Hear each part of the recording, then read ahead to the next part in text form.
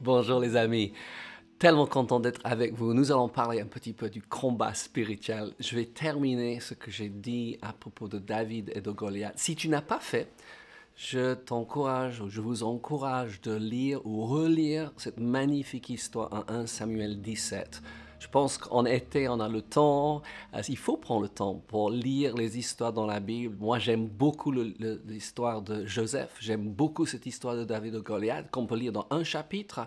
C'est magnifique, rempli de la sagesse de Dieu pour comment pas seulement combattre, mais comment gagner contre les géants dans notre vie. Et quelquefois, les géants sont énormes et quelquefois, les géants sont tout petits. C'est choses qui nous embêtent depuis trop longtemps et on les a laissés faire. Donc, la Bible dit, Ésaïe 54, verset 17, ouais, toute arme, toute arme, sans pesant des armes forgées contre toi sera sans effet. Alléluia, je vais rester là, oui. Euh, toute arme forgée contre toi. Et il y a une arme qui était forgée contre le peuple d'Israël. Et je voulais vous dire ceci, parce que c'est tellement important qu'on parle du combat spirituel. On parle beaucoup trop du diable, des démons, et jamais assez de Jésus et de le Saint-Esprit qui est le plus grand qui habite en nous. Écoutez bien, parce que certains pensent que David a vaincu avec la fronde et les pierres. D'autres disent non, il a tué le géant en lui coupant la tête avec l'épée de Goliath. Moi, je vous dis ceci. David a gagné avec ses paroles. Il faut que nous gagnions avec nos paroles. Et la Bible dit de l'abondance du cœur, la bouche parle. Assurez-vous que vous avez rempli votre cœur avec les paroles de Dieu. Amen. Et quand vous avez les mauvaises pensées dans votre tête, change ces pensées avec vos paroles. Amen. Oui, nous changeons nos pensées avec nos paroles. Nous disons à nous-mêmes, il est écrit, même si on ne le croit pas encore, nous disons, dans ma Bible, il est écrit, Dieu a dit. Et un jour, ce que nous avons dit, de, il, est, il est écrit, ou la Bible dit, nous allons dire, je le crois. Amen. Hallelujah. Donc, je vais vite dire, relire certaines des choses que euh, nous avons entendues parce que je vous ai dit, et je vous encourage, quand vous relisez cette euh, histoire, voir ce que chacun dit. Amen. Donc, il dit, le Philistin, 1 Samuel 17, 10, dit encore, je jette en ce jour un défi à l'armée d'Israël, donnez-moi un homme et nous nous combattrons ensemble. Wow. Et il dit le résultat, seul et tout Israël dire ces paroles du Philistin et fut effrayé et saisi d'une grande crainte. Vous savez, le diable est tenace. Ouais. Ces géants, ces montagnes veulent rester là pour toute notre vie, nous embêter, nous empêcher de vivre pleinement cette vie abondante pour laquelle Jésus est mort sur la croix. Il dit en 1 Samuel 17, 16, le Philistin s'avança matin et soir et il se présenta pendant 40 jours. Nous, voyons dans la Bible les histoires des gens qui avaient des maladies, depuis 12 ans, une perte de sang. Nous voyons les gens qui étaient boiteux de naissance, qui avaient plus que 40 ans, qui n'avaient jamais marché. Dieu peut traiter, ou nous pouvons gagner des combats qui viennent de se lever devant nous. Hier, ou les gens qui datent depuis des longues années. Amen? David a d'autres choses à dire et nous devons toujours prêter attention de ce que disent ceux qui gagnent. Regardez les paroles de Jésus. Je ne trouve pas un, mot négatif qui sort de sa bouche. Ouais. Il n'avait pas peur de rien. Ouais. Aucune épreuve, aucune âme forgée contre lui ou les gens qui venaient se présenter devant lui lui a fait peur. Moi, j'ai dit, prêché un message un fois qui disait Dieu ne dit jamais oh là là. Dieu ne tombe pas de son trône parce que quelque chose a surgi dans votre vie. Qu'est-ce qu'il dit? 1 Samuel 17, 26, Dieu dit aux hommes qui se trouvaient près de lui, Que fera-t-on à celui qui tuera ce Philistin et qui ôtera l'opprobre de dessus Israël, qui est dans ce Philistin, ce incirconcis pour insulter l'armée du Dieu vivant? Quand vous êtes attaqué, sachez que c'est la parole qui est attaquée. attaquée. quand vous êtes attaqué, sachez que c'est un enfant de Dieu qui est attaqué. Ne prends pas cette attaque comme attaque personnelle. C'est contre la parole, c'est contre un enfant de Dieu et on peut se lever en tant qu'enfant de Dieu, on peut élever et déclarer la parole de Dieu. Ce Philistin, il est inséquencé, il n'y a pas d'alliance. Vous avez une alliance, une meilleure alliance avec Dieu par le sang précieux de Jésus. Et nous avons besoin de nous rappeler que nous avons cette alliance. J'ai entendu un homme de Dieu dire que quand il, est attaqué dans son corps, il prend le Saint-Saint matin et soir pour se rappeler du sang précieux de Jésus qui a été versé, mais surtout du corps a été brisé pour que son corps puisse être entier. Hum, hallelujah. Non, dimanche matin, c'est pas le seul moment où on prend le Saint-Saint. On peut faire ça en famille, on peut faire ça seul. David a dit, et il a parlé différemment. Saul l'a appelé parce qu'il a entendu qu'il parlait différemment. Et en 1 Samuel 17, 32, il dit, David dit à Saul, que personne ne se décourage à cause de ce Philistin, ton serviteur ira et se battre avec lui. Ça me fait rappeler l'histoire en Acte 27, quand Paul est dans la tempête, oui, et il dit à toutes les hommes, 276, oui, que personne ne se décourage. Nous sommes là pour encourager les autres, pour aider les autres dans le bureau, dans notre famille, dans notre voisinage. Quand personne d'autre trouve la solution, commence à déclarer, nous allons trouver la solution. Amen. Hallelujah. Si ça part à, travers vous ou à travers quelqu'un d'autre, c'est pas grave, mais vous commencez à le dire. Amen. Hallelujah. 1 Samuel 17, toujours, verset 35. Dieu, David dit encore, L'Éternel qui m'a délivré de la griffe du lion, de la patte de l'ours, me délivrera aussi de la main de ce Philistin. Et Saul dit à David, va et que l'Éternel soit avec toi. Maintenant, le Philistin a quelque chose à dire. Il voit David, ce jeune homme. Il est un guerrier. Il a trois mètres, ouais, depuis sa jeunesse. Je sais pas combien d'hommes il a tué. Et il dit quelque chose à David. Je vais pas dire tout ce qu'il dit, mais le Philistin dit, verset 43, Suis-je un chien pour que tu viennes à moi avec des bâtons et après l'avoir maudit par ses dieux, et quelque chose à vous dire à propos des gens qui nous maudissent.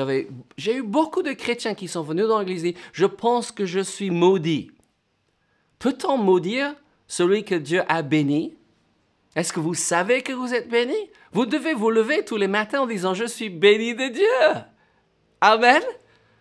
Oh les amis, je veux vous rappeler que l'encouragement est l'oxygène de l'âme.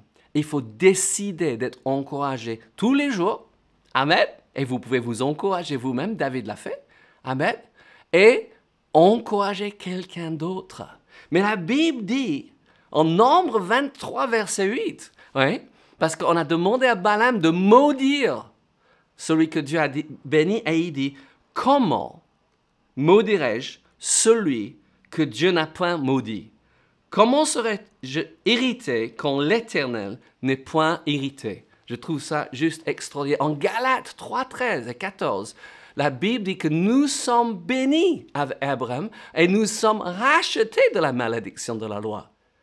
Le, chaque matin, vous pouvez vous lever et dire, je suis béni, je suis enfant de Dieu. J'aime ce chant, je suis béni, je suis béni. Chaque jour que ma vie, je suis béni. Le matin quand je me lève et pendant la nuit aussi, je suis béni, je suis béni vous êtes béni? Peu importe ce que les autres veulent dire de vous, si vous dites, ouais, vous êtes béni, rien peut venir contre vous. On va continuer. 1 Samuel 17, 45. David répond aux Philistins, parce que le Philistin a maudit, a dit qu'il allait le tuer. Et David dit, tu marches contre moi avec l'épée, la lance et le javelot. Et moi, je marche contre toi au nom de l'Éternel des armées, du Dieu de l'armée d'Israël que tu as insulté. Et nous pouvons dire encore mieux. Je viens contre, contre vous au nom de Jésus. Vous savez, les démons tremblent. Satan lui-même tremble quand nous parlons au nom de Jésus, quand nous prononçons le sang précieux de Jésus qui nous a lavé de tous nos péchés. Il ne peut pas tenir. Amen. Moi, j'ai vu les gens en train de, chasser les démons, de crier sur, Satan et tout ça. Moi, je dis, pourquoi vous faites tout cela? Commence à louer le Seigneur? Commence à élever le nom de Jésus? Et tous les démons, ils ne peuvent pas rester. Ils doivent fuir. Je pense qu'il faut que nous nous focalisons sur Jésus et sa victoire sur le péché, la maladie, la pauvreté. Il nous a rachetés, il nous a libérés, il nous a fait de nous des nouvelles créatures en Christ et nous sommes bénis. Oh, je ne sais pas si je vous fais du bien, mais moi, je me fais du bien ce matin. Oh, merci pour vos commentaires. On est ravis que vous êtes là. Surtout tous les gens qui regardent en replay. Et, et je n'ai pas dit ça dernièrement. Mais si ces émissions, si ces lives vous faites du bien, partage avec vos amis. Ouais? C'est trop, trop bien. Quelquefois, il y a un que vous dites, ah, c'est un déclic, j'ai compris quelque chose, mais partage ça avec les amis. Moi, je suis tout le temps en train de partager des choses que j'entends des autres. Oui, moi je me fais du bien en écoutant les autres régulièrement. Oui, je regarde des émissions, je lis les choses et je me fortifie avec ces choses. Dernière parole de, David que je veux donner, oui, en 1 Samuel 17, verset 45, il dit Aujourd'hui, l'Éternel te livrera entre mes mains. Je t'abattrai et je te couperai la tête. Rappelez-vous, il a la fronde et les pierres. Vous, vous coupez avec la fronde ou avec les pierres polies oui? Je pense ni l'un ni l'autre. Oui? Cette épée oui, avec laquelle Goliath a incité, avec laquelle il a défié l'armée, David sait déjà qu'il va le tuer avec son propre épée. Il dit, aujourd'hui je donnerai les cadavres du camp des Philistins aux oiseaux du ciel et aux animaux de la terre. Et toute la terre saura qu'Israël a un Dieu. Il n'a pas dit toute la terre saura que David c'est un champion. Il faut que nous restons humbles. Amen. Chaque fois que Dieu nous utilise, chaque fois que les gens viennent nous dire qu'on avait prié pour eux, que ça les a bénis, on a, euh, on a imposé les mains, ils étaient guéris, nous avons toujours rendu grâce à Dieu. Amen. Pourquoi? Parce qu'on veut que Dieu nous utilise plus. On veut que l'onction, la puissance, la présence de Dieu augmente de plus en plus chez nous. Amen? Moi, je dis quelque chose. David n'a pas gagné par des armes. David a gagné par ses paroles. Ce que vous dites dans votre situation s'accomplira. Nous avons une magnifique mini-livre sur les livres audio oui, qui s'appelle Ce que vous dites s'accomplira. Je pense que nous avons besoin de prêter beaucoup plus d'attention à nos propres paroles que les paroles des autres. J'entends les gens dire, oui, mais on m'a dit ceci, on m'a dit cela. Vous savez, je, dis ça souvent, mais nous ne sommes pas nés perroquets pour répéter les autres. Oui? Ni les gens donc euh, à la télévision, à, à, la radio, ni le gouvernement. Nous sommes là pour changer le monde autour de nous. Et il faut que vous élevez votre voix face aux géants, face à, la montagne. Jésus a dit que vous allez jeter la montagne dans la mer. Comment? Par vos paroles. Amen. David avait gagné avant de descendre dans la vallée. L'instant que le géant se lève dans votre vie, l'instant qu'un problème surgit, vous devez décider qu'est-ce que je, vais dire. Et si vous dites, je ne sais pas, mais allez dans votre Bible. Si vous dites, mais je ne sais pas comment chercher, allez chercher votre, votre partenaire de prière, oui, un ami, quelqu'un qui est plus, plus âgé dans le Seigneur. Il dit, est-ce qu'il y a une promesse là-dessus? Si vous lisez votre Bible tous les jours, vous allez toujours trouver il y a des promesses qui surgissent de ton cœur quand un problème se lève. Décidons ce que nous allons dire et après, ne changeons pas de cap. Ce que Dieu a dit va s'accomplir dans ma vie. Ce que vous allez dire va s'accomplir dans votre vie. Donc, vous parlez la victoire, vous aurez la victoire. Vous parlez de la fête, vous parlez de votre incapacité, de votre impossibilité, que votre faiblesse, que le faible dit, je suis fort dans le Seigneur. La Bible dit, ne pas dire que nous devons être forts en nous-mêmes. Nous avons besoin d'être forts dans le Seigneur. On s'éloigne du Seigneur, on s'affaiblit. On s'approche de Dieu, il s'approche de nous. Amen. J'ai eu ça fort. En terminant ma préparation ce matin, oui, celui qui est en vous est plus grand que celui qui est dans le monde.